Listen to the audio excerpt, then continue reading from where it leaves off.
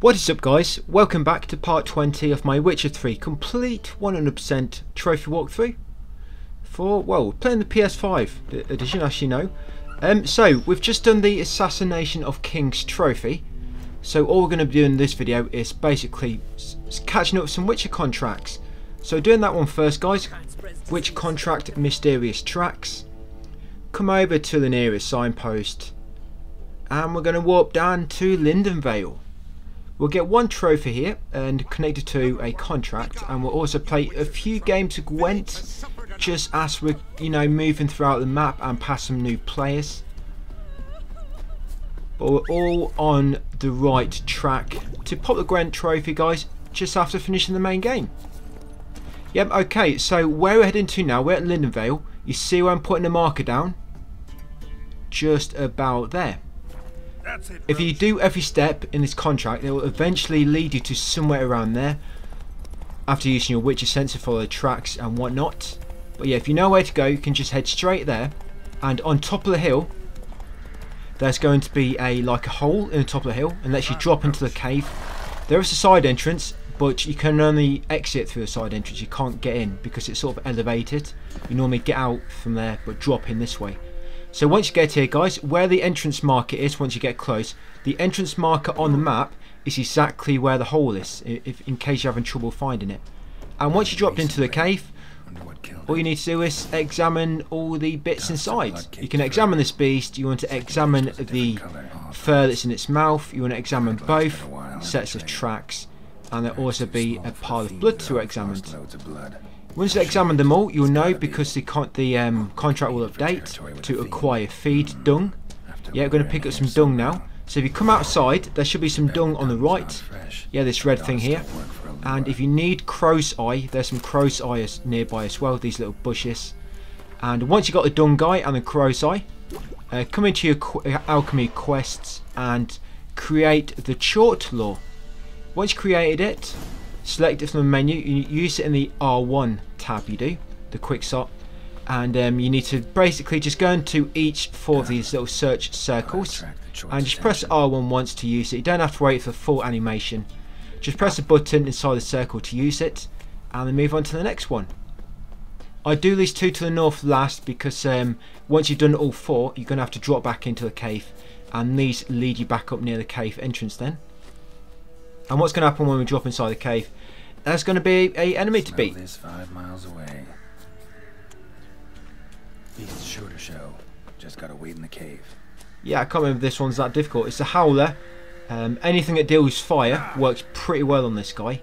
Yeah, so once you've um, spreaded the Chort lure at all four of them spots, you come in here and he'll spawn. Here he is, a little cutscene first to introduce you to him. The Howler.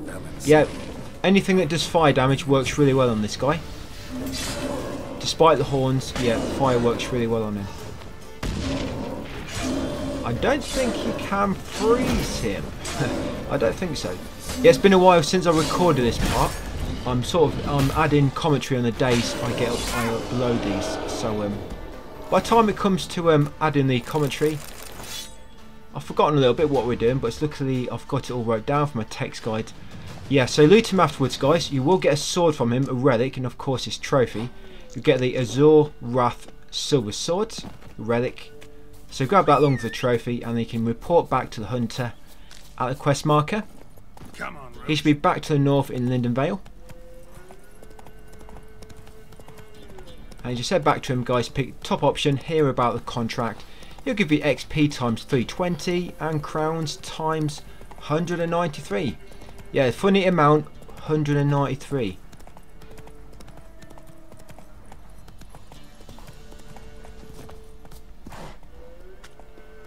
Yeah, he'll be here. If he's not outside, just uh, meditate until daytime.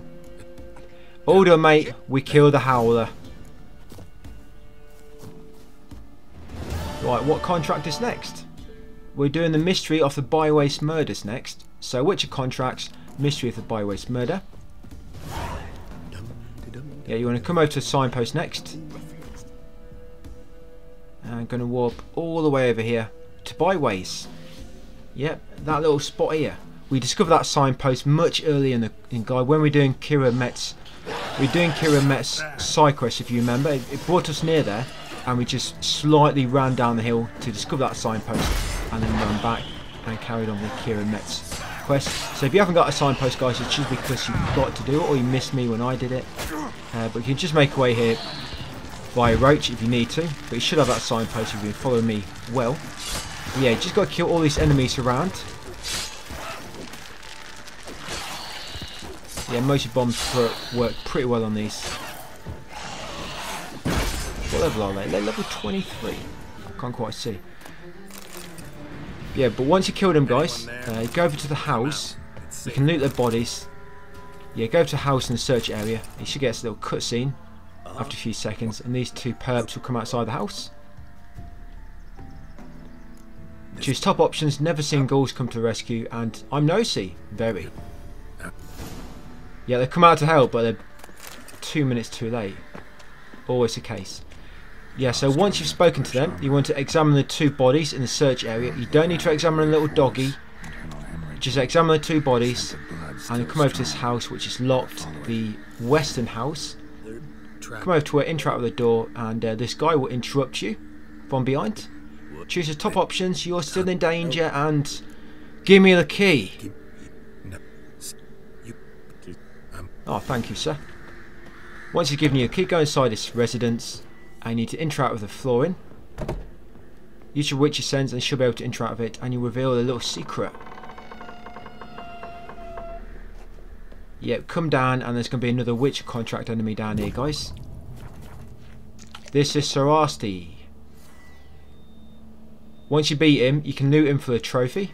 And the Bloedeaedd Steel Sword Relic. Yeah, this guy will drop. Yeah, this guy, you want to use Moon Dust and Dancing Stars on him. I don't think Northern Wind works on this guy.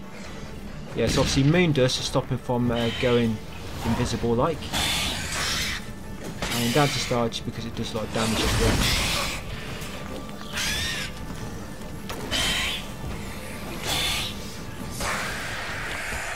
Yeah, so loot his body. Like I say, you'll get a steel sword relic. And um, once you've looted his body and got a trophy as well, loot the two chests on either side. Should be one on either side with some goodies inside them. Got stuck on a little tiny rock there.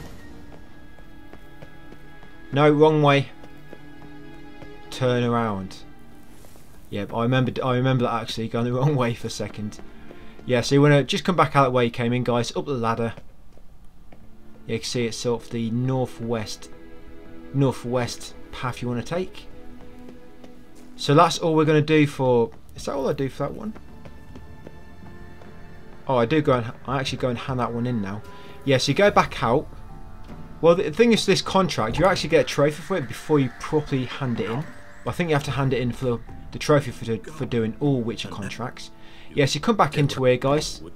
Afterwards, talk to these two perps again. And um, we got a trophy, guys. Fearless Vampire Slayer. Don't know about Fearless, but I definitely slayed something.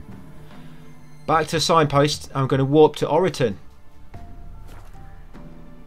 And they're going to go to Milan Noran nearby. And you're going to tell him you'll hear about the contract and that should complete it, guys.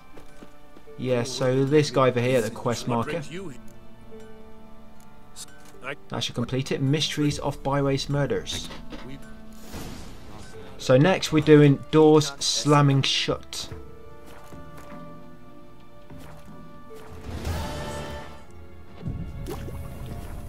Yeah, you can use the grindstone and the armorer's table nearby if you want to, just while it's nearby. If you do so though, make sure you meditate before, because if you meditate afterwards, you're going to lose that bonus. And it should be an absolute waste of time. Yes, we're going to warp all the way over here, guys, to Moldavi residence. We discovered this earlier as well when we were heading north for the main quest to go to the isolated hut. We discovered this on the way. Yes, a door's slamming shut. I forget where. I think we took that quest in Novigrad. Notice boys. Yeah, so obviously got two new relics. Uh, you can always equip any better weapons along the way. Just remember, do not sell any relics. We're probably going to sell some relics after the main game and uh, get on top of that. So once you're near, guys, would have attacked me already. come downstairs and blow the wall out at the back. carry on down and uh, jump in the water to get your knickers wet. And once you're in the water, head east and climb out here. And pull the lever down. Don't get dry yet, we're going to get wet again. There we go. Yeah, back in the water. Now swim back over to that broken bridge and um, take the north. There's a doorway on the north side and it should be open now. Now we've pulled that lever.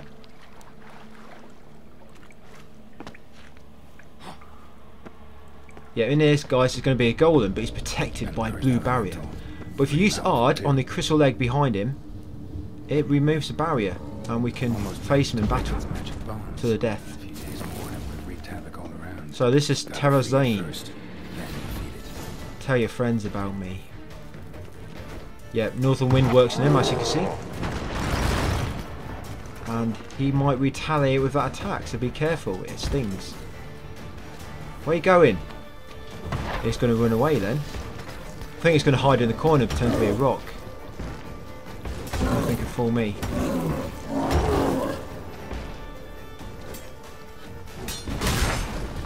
Yeah, so I don't think dancing. I don't think fire works on him. That's why I've not used dancing star. But yeah, northern wind and um, grape shot works quite well. You saw at start. So once you killed him, guys, loot him. Yeah, make sure you get a trophy, and you'll also get the Cleaver Hood Steel Sword, another relic for you. Once you've done that, get back outside. I don't think we hand that quest until a bit later. Basically, when we go nearer to the area where the quest, the um, quest givers. Oh, it's Kurt in the Kingfisher Inn, wasn't it? Yeah, when we go back to Novigrad later, probably in the next video or two, we'll just go and say hello to Kurt and let him know, give him the good news. Okay, so um, yeah, over to signpost, guys. Meditate, get your bombs back. Yeah, going to warp to Lucian's windmill now. Yep, so doing it. Witcher contract, Lord of the, is it? I think it's Lord of the Wood. Yeah. So Lord of the Wood. So this one you can skip a you can skip a lot of this quest if you just know where the wooden stake is. So Lucian's windmill. Yes, basically a wooden stake. It's actually really hard to find unless you know where it is. It's- It's quite hard to see. I think it takes me a minute to find it now, and I know where it is. Come on. takes a minute to spot it because it's sort of blended in with a tree. Yeah, so watch where I'm going. You see the end of that path there, and go north, and you see the path to the north. In between them two is where I put a marker down. You see? So put a marker down in between that broken path that ends and that path going from left to right along the top. Put it down in between them two directly, and that should take you exactly to where the stake is. Yeah, this quest can go on for quite a while if you follow all the steps. But yeah, if you know where it is, you can come straight here. So, should be a big tree. And the stake was there. I didn't see it at first. There it is. Yeah, you see it? This wooden... Yeah, the wooden stake. It's quite difficult to see unless you're looking for it. But yeah, that's where it is, guys. You need to attack it. You have to press left on the... You have to use the left or right on the D-pad to get your sword out manually. Yeah, attack it and that will spawn the big wooden beast.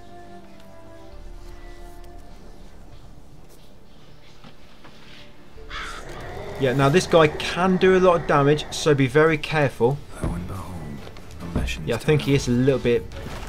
He's slightly higher level than us, I think. Yeah, but obviously it's made of wood, so um, fire works really well on him. And he, he does transform, but if you use Moondust on him, he doesn't seem to transform or warp away. So he can go invisible at times. But it'll send like bats after you.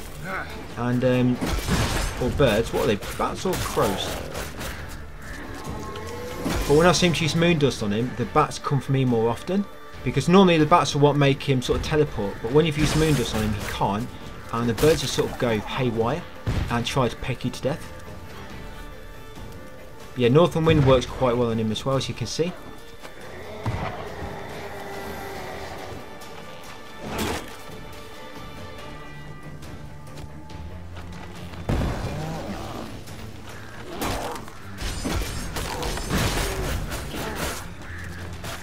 Very careful with all them little birdies.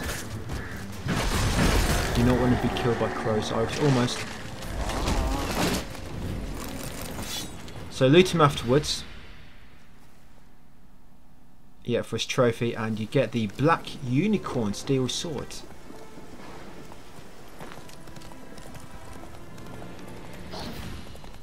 Yeah, so once you looted him, meditate if you need to, get back on your horsey and just go back to Lucian's Windmill.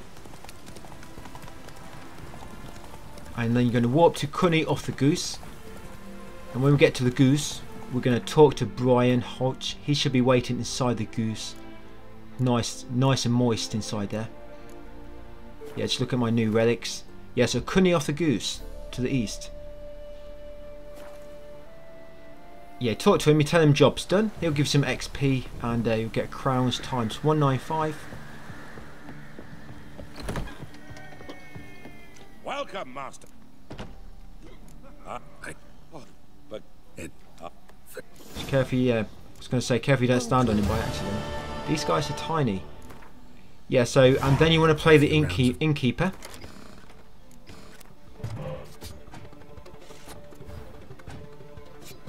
And yeah, just beat him at Gwent now, guys, the innkeeper. Bet 10 crowns as always.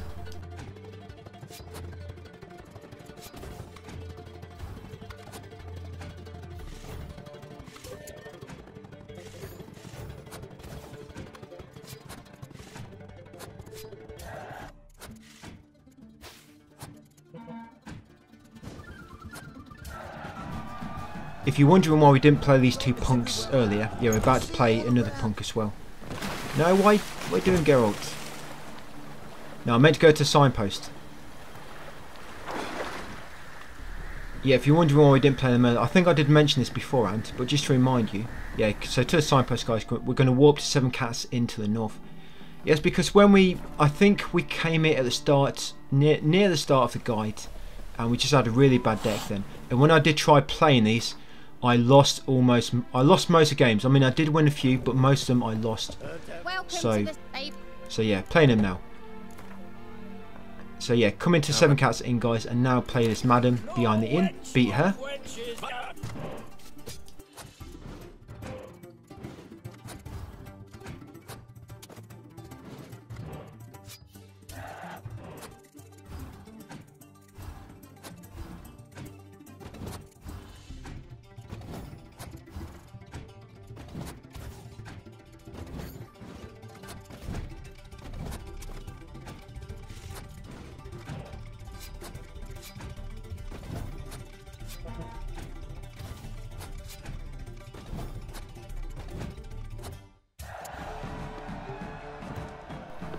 Right now, we've beat her, guys. We're going to be doing the contract, the Oxenfurt Drunk. So come to signpost, and you want to warp to Oxenfurt Harbour. That's how we're looking at the moment. Miraculous Guide to Gwent. You should be very, very close there. The only thing that might be different is the bottom amount. It might be, I mean, for me it's 6, it might be 5 for you, or it might be 7. Uh, but don't worry, they are random and I do play a few extra players. But then players above, like how many cards left in Novigrad and Velen and whatnot, that should be the same. If you've been doing a bit more than me, it might be less. I mean, that's okay. But if you if you need more than what I need, you've missed a player somewhere, guys, that I've played. Um, okay, so once you're here, guys, come into the come into the inn and talk to this lady. I'm going to choose the top option. Let's talk about this attack, this beast, and then choose top option again. Take some coin, 30 crowns for you. I know it's nothing. It's like chump change. Uh, but once you spoke to her, guys, come around the corner in the objective area. Just around the corner, yeah, there'll be that bracelet to examine. Woman's wrist. Attacker lost it most likely. Once you examined it, come back in Fondness for jewelry. and talk to Steppen and have a drink. Finally, Just a catechism. perhaps I I recommend some moonshine. Yeah, just tell him you need a drink and give him 50 crown support. I know it's bloody mega expensive here. Won't be coming here again. Maybe it's true what they say. Once was 50 pound for a pint, 50 crowns. At night, she'd be But yeah, once you come outside, yeah, you're a little bit tipsy. Early in the Probably don't drink anymore. But yeah, all you need to do is go to each search area and then you need to wait for Geralt to start talking in this search area. Then once he started talking, he's basically started this little verse and then you can sort of leave the search area. but the search areas will not update until Geralt has finished the dialogue which started in the search area. So now it's updated to the second search area. Geralt started the dialogue, so now once that dialogue is finished, a third area will appear, and that's just around the corner here. All right, all right. Yeah, and this one. Now this one, this is where the enemy's going to appear. You'll have to wait for the verse to finish, and you might need to just move around a little bit. But yeah, he normally appears once you're in this third search area. It's the last one. Like I say, if you don't move, if you don't appear and you finish the verse, just move around within the search area, and it should force him to come out of hiding.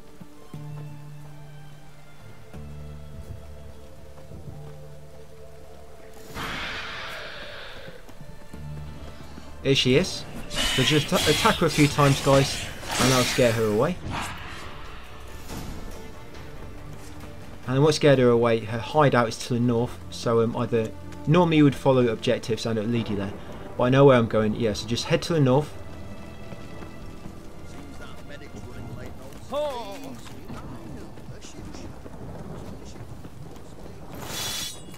Yeah, you can take the grindstone and the armor's table if you want, just for a little buff. You, you won't need it. I think this enemy dies mega quickly.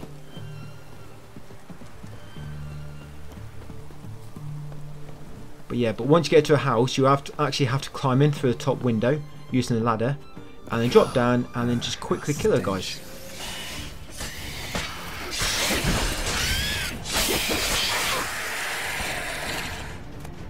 That's it, loot it afterwards for some goodies. Yeah, of course you'll get the trophy for looting her.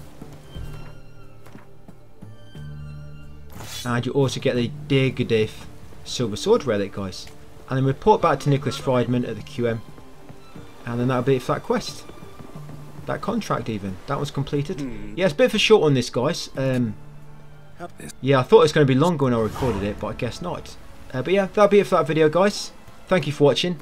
And I'll see you on the next one.